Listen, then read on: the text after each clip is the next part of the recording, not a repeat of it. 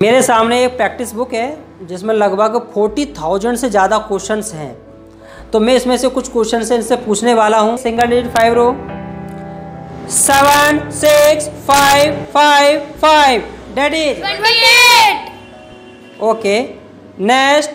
seven two five minus seven three that is seven six five five five four four five two seven two six five three three two one nine four nine that is देखा है अपने